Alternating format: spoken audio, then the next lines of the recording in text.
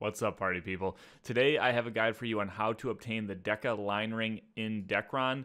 Uh, this is a extremely useful PvE ring. Um, I constantly get people asking me about how to increase your, uh, you know, your monster damage tolerance or your PvE resistance, and this is a nice ring that's pretty easy to farm. Uh, that will give you a nice boost to your resistances, which is uh, an issue I see a lot of people having when it comes to surviving in dungeons. So yeah.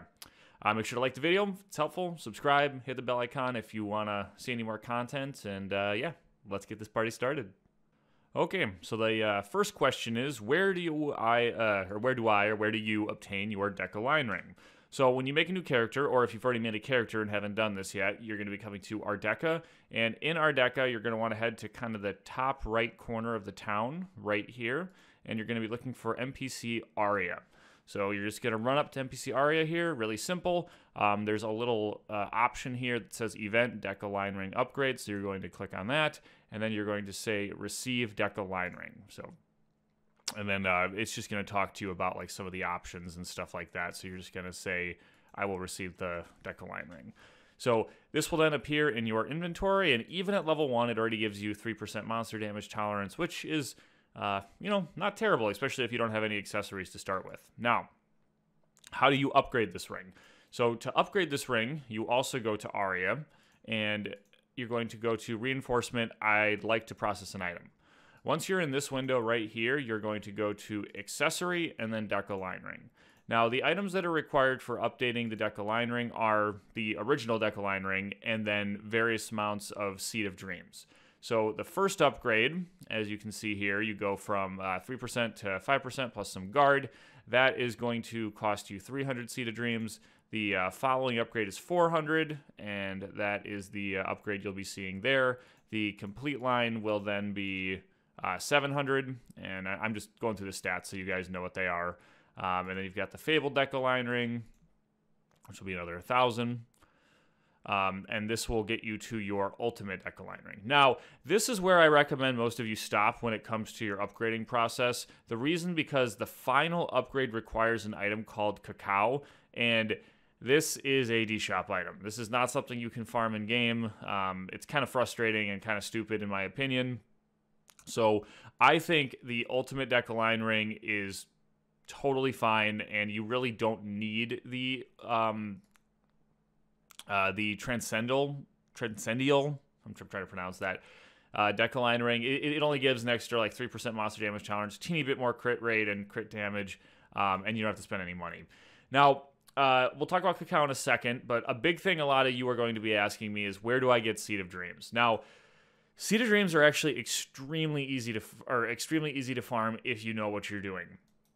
Now, a lot of you will say, hey, you know, Seed of Dreams have a really low drop rate. You know, I go and I farm and it takes me forever to get them. How in the world am I going to get the, you know, 2000 or whatever Seed of Dreams that's required to upgrade my Deka Line Ring? Well, there is another option over here uh, that you guys really should know about, and that is NPC Wingo. Now, at NPC Wingo, uh, there is an option here called Collect Materia for Seed of Dreams. And here, you can exchange your ghosts, angers, or insanities for seeds at these rates. So while you're farming in game, you're going to get seeds, but you're also going to be getting ghosts or ghost fragments, anger fragments, and insanity fragments. And you should take those fragments, and you're going to um, once again you're going to be going to NPC Aria, and you're going to come to Aria and you're going to go to the uh, first option again, and you're going to go to material exchange. And here you'll be able to exchange your ghost fragments for ghosts, anger fragments for angers, and insanity fragments for insanities at, you know, a, a whatever rate. You can then go back to Wingo, like I showed you, and you can exchange those for seeds too. If you do this, it's going to go a lot faster. And what's really nice is while the um, ring is not tradable and the final form of these exchange items are not tradable, the fragments are tradable. So what you can do is you can make a couple alt accounts. Uh, you can use the free holy water, and you can use those to farm yourself some, um, you know, some uh, angers, spirit pieces, and insanities. Uh, now you'll you'll note that right now I, I don't believe it gives you a pet for free right off the bat. So what you can do to get a pet really simple is you can go to NPC Jack, New Seed of Dream Exchange, go to premium and then normal pet egg for 100 and uh, 150 seeds. So that's um that that's a really easy way to get a pet and then it'll make it easy to farm those other items. So doing that you will be able to get the seeds you need for the Deka line ring in no time at all. It goes it goes pretty quick trust me. If you have questions about that you can let me know. Now if you are interested in doing the final upgrade like i said it's uh it's a cacao requirement. So uh, you need 500 cacao. Can't farm it in game sometimes they get out for events but they haven't in a long time.